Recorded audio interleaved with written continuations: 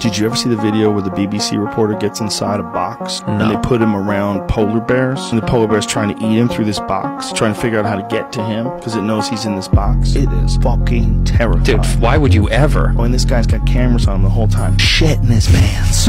We've been really fucked over. We've been really fucked over with goddamn Klondike bars and Coca-Cola. You're making him look sweet. We have a super distorted perception of this fucking predatory killing machine. It's pressing on it. That's glass, man. If it breaks, you're dead. if it breaks, you're.